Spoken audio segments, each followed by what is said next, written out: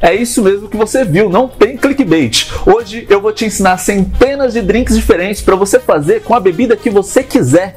Tudo isso utilizando a mesma técnica base da coquetelaria, utilizada em vários e vários clássicos aí que são famosos no mundo inteiro. Então, quer aprender? Vem comigo depois da vinheta. Bora!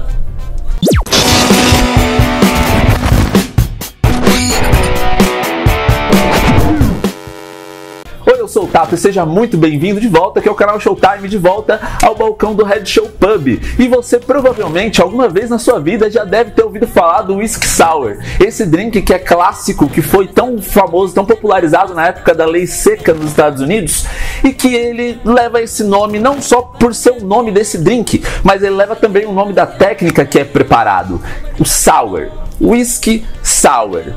O que nem todo mundo sabe é que você também pode preparar drinks sour com várias outras bebidas. Na verdade, com a bebida que você quiser. Você pode fazer aí vodka sour, tequila sour. Por quê? Porque sour não é o nome do drink, mas a técnica em que ele é preparado. Beleza, entendemos isso, mas o que é o sour em si? O sour é uma técnica que combina três elementos para fazer um coquetel: um elemento cítrico, um elemento alcoólico e um elemento doce. Fazendo essa combinação, usando seja lá qual for o elemento doce seja lá qual for o elemento alcoólico, seja lá qual for o elemento cítrico, você combina um sour. Você faz uma combinação equilibrada de sabor que vai funcionar independente da bebida base que você utilizar. Quer ver? Vamos lá, vamos para a receita. Os drinks da família Sour geralmente são feitos batidos, então vamos colocar bastante gelo na nossa coqueteleira para começar a preparação.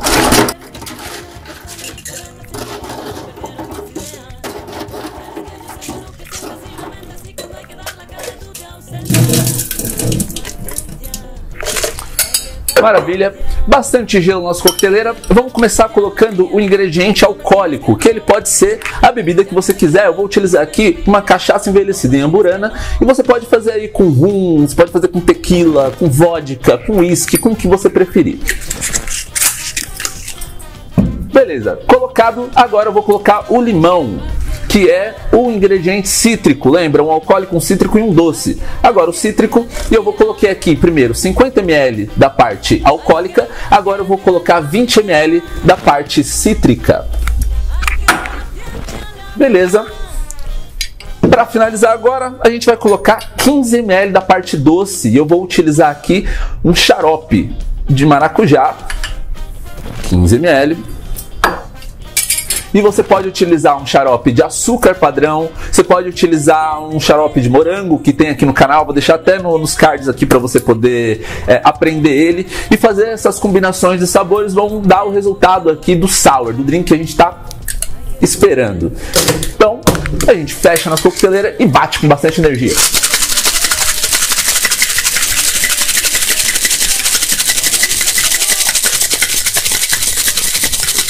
Maravilha, batido aqui nosso drink.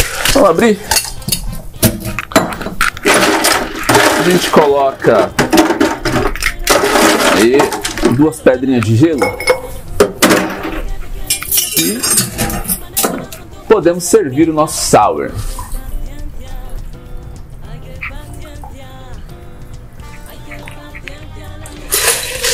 Maravilha. O que, que a gente tem aqui é um cachaça sour. Se você tivesse feito com uísque, era um whisky sour. Se tivesse feito com vodka, era um vodka sour e por aí vai. O que você aprendeu hoje aqui foi uma técnica. Uma técnica que vai te levar para a família de, coquetel, de coquetéis do sour. E aí eu quero que você comece um, um exercício aí de imaginação. Comece a lembrar quais outros vários drinks que levam uma receita muito parecida com essa. Vamos lá, por exemplo, margarita, daiquiri, caipirinha, e por aí vai. Receitas que levam sempre aquela mesma base, um ingrediente doce, um cítrico e um alcoólico.